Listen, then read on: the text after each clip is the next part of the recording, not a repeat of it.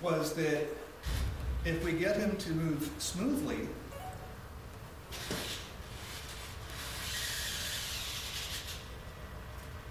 he becomes something that you can engage and relate to. Uh, and the reason we learned that was in Pomona, between the drone racing and the sumo bots and everything else, the, uh, the Wi-Fi was so noisy that I didn't have a strong signal, so he ended up glitching out.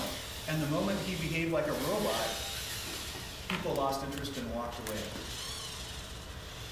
But by uh, grabbing these x-y coordinates on this pendant with some clever animation, you can get some very, very realistic movements that are, are engaging, which is one of the things I think you're seeing in the CES bots.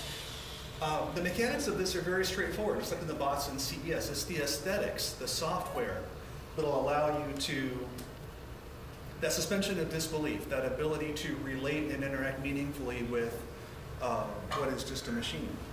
So uh, for right now, he's, he's a platform. He's thousands of hours of effort um, spent building something interesting that we can use as a basis to learn more about robotics. So from the soft skills like smooth movements allow people to relate to it.